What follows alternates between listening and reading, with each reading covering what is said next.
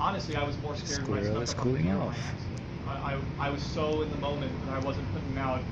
You know, like if you, you know how like if you're in the if you're like I'm in the woods right now, that like animals pick up on that. But if you're in the woods, in my there, you can sneak up on each other, and it's actually not a good thing. You kind of want to announce your presence. That's why the bell is announced.